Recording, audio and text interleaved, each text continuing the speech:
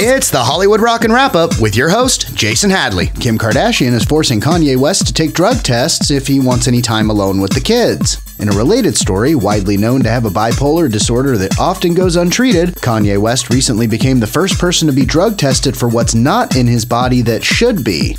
Justin and Hailey Bieber have no problem parking their cars in handicapped spaces to supposedly prevent paparazzi from catching up with them, versus the people who actually need handicapped spaces, or rather, those paparazzi would have far less trouble catching up with. Why you pouring me? I'm right.